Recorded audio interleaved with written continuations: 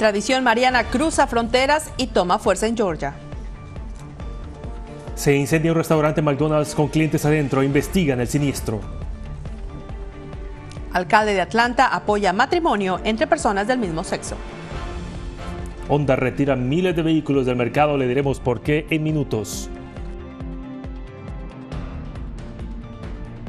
Noticiero Telemundo Atlanta.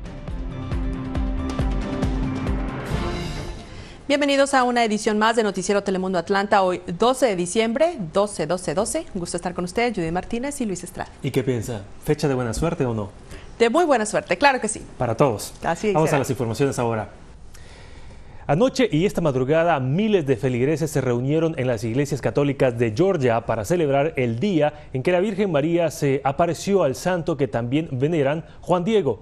Esta es una celebración de los fieles que profesan dicha religión y de que en especial mantienen una tradición mexicana, tradición que ha cruzado fronteras y ya es parte en la cultura y tradición del pueblo mexicano. El proceso comenzó con cantos, danzas, rezos y plegarias. Ahí estuvimos para que todo aquello que hoy le pedimos desde nuestra sencillez, desde nuestra humildad, desde nuestro corazón, ella lo haga realidad.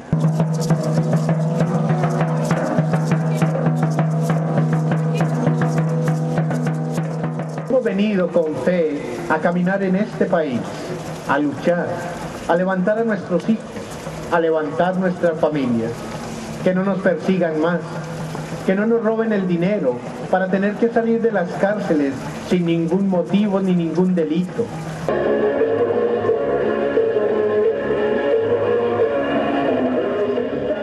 Que se haga realidad esa reforma migratoria.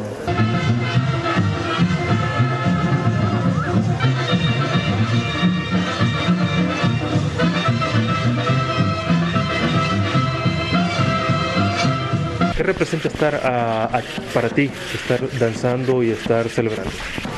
un día bien especial para yo celebro sería como si era como cosas que es pasado para mí buenas cosas en mi vida como los malos y el bien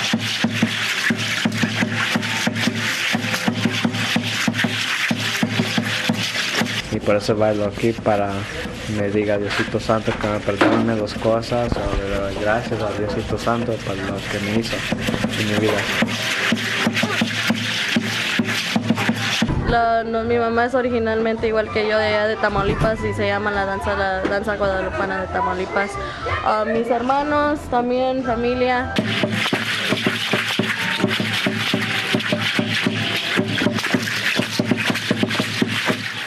¿Qué, qué es lo que necesita la comunidad hispana? ¿Qué es lo que vino a pedir usted? No, pues vengo a pedirle por todos, por todos los, por todos los emigrantes, por todos mis hijos. Voy a estar ahí abajo ¡Que viva la Virgen de Guadalupe! Ahora aquí, ¿por qué ha venido acá? Ah, nosotros venimos a pedir de Virgen de Guadalupe para, para dar ah, de ponedad, nosotros me trabajo para que cuide a nosotros donde, donde quiera, donde vamos.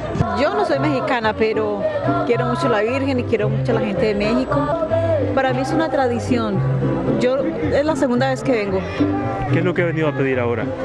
Por mi familia, por mi hija, por mí, por mi salud, por todo el mundo, por la paz, sobre todo por la paz de mi país. Con esta celebración de la aparición de la Virgen María para los ah, católicos devotos inicia una serie de celebraciones navideñas, las cuales finalizan el 6 de enero con el festejo del Día de Reyes. Bien, pasamos ahora a otra información. Una plaga de murciélagos tienen que lidiar algunos residentes de complejos de apartamentos en DeKalb.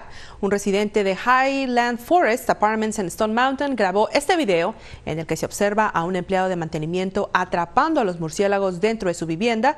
Los mismos estaban volando por encima de la cuna de su hija de solo cuatro meses. El personal encargado de los apartamentos dijo que han tapado las posibles entradas de los murciélagos hacia las viviendas, pero inquilinos dicen que ahora los indeseables mamíferos voladores están atrapados dentro de las paredes de los apartamentos. Impensable, cosas que pasan. Bueno, en otro tema, la policía de Chambly busca a dos hombres que habrían abusado de una mujer a quien conocieron a través de una página de internet. Detectives emitieron órdenes de arresto contra Alberto Palmer y Justin Reed.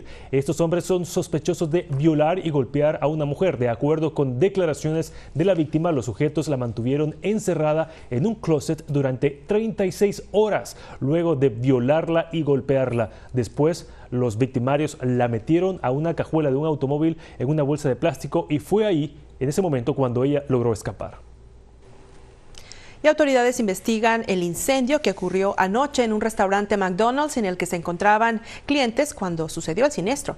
Tras una llamada de emergencia, los bomberos arribaron y evacuaron a los comensales del restaurante ubicado en Lower Roswell Road en Marietta.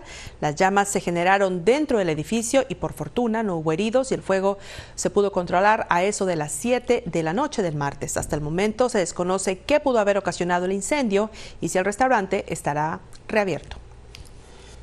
Ni las armas de seguridad parecen detener a los ladrones o las alarmas, porque la policía de DICAB investiga ahora un caso en el que un hombre se tomó el tiempo, oiga bien, de desactivar las alarmas antes de cometer su fechoría. En estas imágenes de las cámaras de seguridad de la casa ubicada en la calle Kings Bay Circle, se observa a este sujeto que durante más de media hora se las ingenió para desmantelar el sistema de seguridad de la casa sin saber que estaba siendo grabado, para después lanzar una piedra, quebrar el vidrio de la ventana y meterse a robar. Detectives en DICAB esperan de que con la difusión de estas imágenes se logre capturar a este maleante. Para denuncias, llame a la policía del condado de DICAB al 678-937-25 o más más bien 2852, repitiendo 678-937-2852. Y el alcalde de Atlanta, Casim Reed, se pronunció a favor de los matrimonios entre personas del mismo sexo, luego de que, como le informamos aquí en Noticiero Telemundo Atlanta la semana pasada, el Consejo de la Ciudad realizó una declaración a favor del matrimonio gay. Nuestro socio editorial WSB Canal 2 le preguntó al alcalde qué lo hizo cambiar de opinión. He pasado algún tiempo con gente a la que estimo, que tiene relaciones duraderas y las uniones civiles no son suficientes y hay una gran diferencia. El alcalde apuntó que quería dejar en claro que él nunca pensó que la discriminación hacia matrimonios entre personas del mismo sexo fuera apropiada. En otra información, The Georgia Premier College fue amonestado por una agencia de acreditación de instituciones educativas debido a que tiene serios problemas económicos causados por un sobregasto y carencia de descontrol financiero, dice un informe. Georgia Premier College tiene un déficit de 25 millones de dólares del cual fue señalado hace unos meses tras realizarse una auditoría el año fiscal pasado. Funcionarios de la institución dijeron al rotativo de Atlanta Journal Constitution de que ellos esperaban de que el problema se resolviera en un año. En septiembre, una auditoría del sistema universitario de Georgia encontró que los máximos dirigentes de la institución en cuestión ignoraron o no se dieron cuenta de las terribles condiciones financieras que tenían. Georgia Premier College es la cuarta institución más grande del estado en su categoría y opera en diferentes campus de las zonas cercanas a Atlanta.